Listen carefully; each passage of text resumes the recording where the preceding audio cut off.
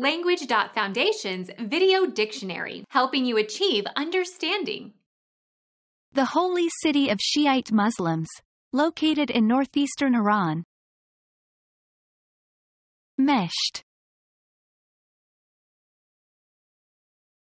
Become our student and get access to effective and free educational materials. Subscribe to our channel to become a part of our growing community and to learn English effectively.